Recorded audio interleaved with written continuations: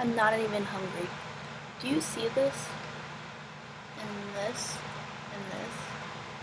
I've got pimples all over the place. This is like a freaking mountain on my face.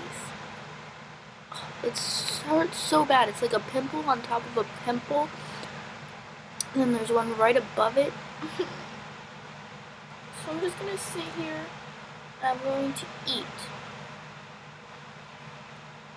this pizza. My room's a mess. People just leave everything here. Don't clean up after themselves. Ah. But they left the pizza.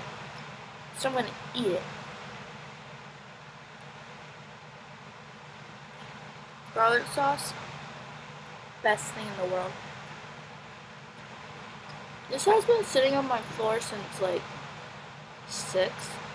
So I hope I don't die from anything. But I mean, it's pizza. What could happen to it? Nothing. It's midnight, by the way. I just spilled some garlic sauce on my table. You want to know what was on my desk? Tea. It's unwanted tea. It was full. The cup was full. The tea bag was sitting next to the cup. No top.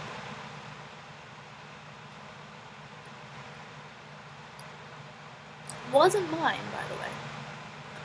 So I had to dump that out. Then I was thirsty, so I had to go get more water because I was out of water. Nah, just chug this, not all this, like this much.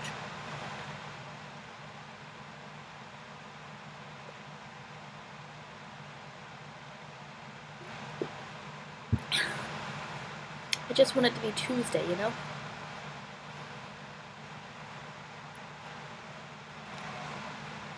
I love food. I love it so much.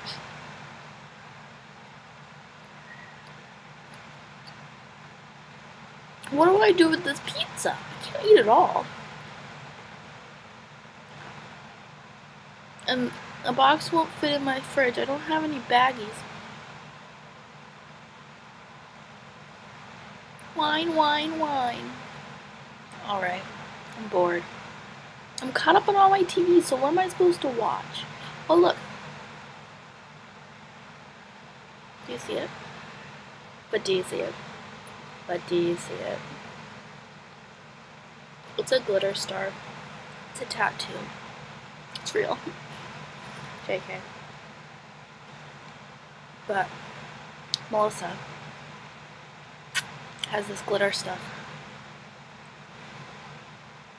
with glue. I made stencils. She asked me to do it. She was like, since you're such a good artist. And I was like, I drew some hearts. I used a knife to cut it out to make the stencil. She told me I was magic. And I made this stencil as well. I'm pretty talented, what can I say? Did you know that on March 28th, I don't know what day, I am going as a third wheel with Keith and Melanie to Noel Gallagher's concert. I don't know if I ever told you, but on the 11th, which was my concert, they went to a Noel Gallagher concert. Kevin and Keith and Melanie and Josh, who you don't know. And, or maybe you do. Um, but I was supposed to go, but I couldn't because of my concert, and I was really sad.